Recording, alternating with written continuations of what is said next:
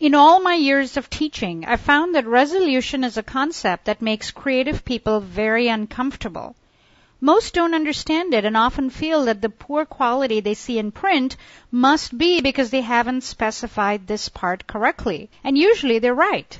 It's extremely important to have the correct resolution for the image because it can make the difference between crisp and professional artwork and a sloppy amateurish piece of artwork. So let's start by defining resolution and what it means to the different groups that use Photoshop. Resolution refers to the size of the building blocks that make up an image and help to resolve its clarity, its size and appearance on screen or when it's printed. When we work with raster images in Photoshop that are made up of pixels as its building blocks, then we refer to the image resolution as pixels per inch or PPI. If you're shopping for a digital camera, you might be faced with choosing between a 5 megapixel, 8 megapixel, or a 12 megapixel camera. This refers to the total number of pixels that are captured and used to represent the image. If you're a web designer, you might be faced with specifying absolute sizes in pixel values. For example, 800 pixels by 600 pixels is common for full width images intended for the web. The size really depends on the available real estate on your web page.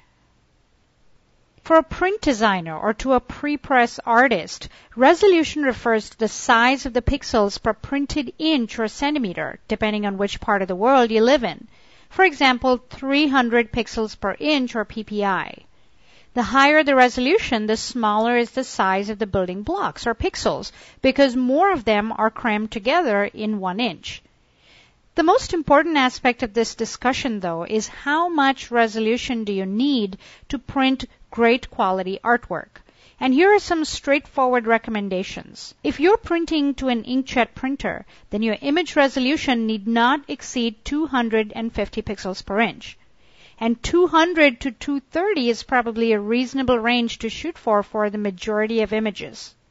It gets a bit more involved when you print to devices with a halftone screen like a color laser printer or when you're outputting film. In this case, there's a bit of math to do. You have to factor in the halftone screen ruling that'll be used to print the image. In the case of a color laser, this might be anywhere from 80 to 90 lines per inch or LPI. And in the case of fine printing, anywhere from 150 to 200 LPI. The calculation you'll have to make here is to figure out one half times to twice the LPI of your printing device. And that's what your image resolution will need to be.